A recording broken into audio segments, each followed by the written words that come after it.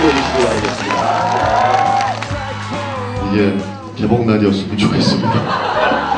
뭐 연말에 영화가 굉장히 많습니다. 뭐 한국 영화도 많고 개인적으로는 영화가 없는 게 좋은데 부산이 제2의 고향 같은 곳이에요. 왜냐면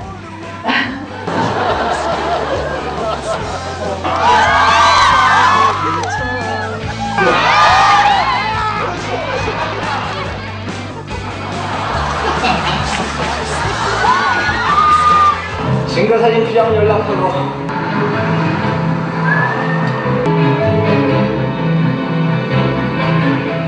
Tried to call, said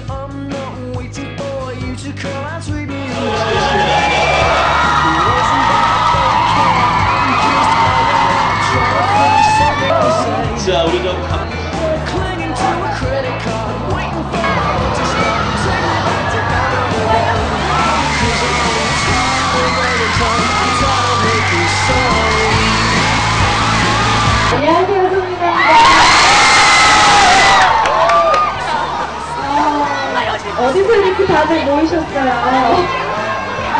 이제 성이 개봉되면 직장에 오셔서 영화 한 번 봐주세요.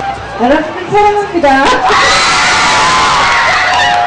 아, 본인 같으면은 대구에서만 개봉했으면 좋겠습니다.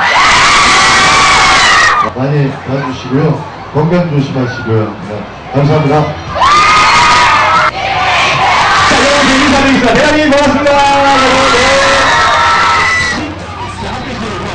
세븐 데이즈보다 훨씬 재밌었어요. 시간이 끝날 때까지 어떻게 가는지 몰랐고 눈을 뗄 수 없는 그 끝에는 반전 때문에 너무 재밌었던 것 같아요. 진짜 반전의 반전이라고 대박입니다. 정말 한국 최고의 영화가 될 것 같습니다. 시크릿 파이팅! 화이팅!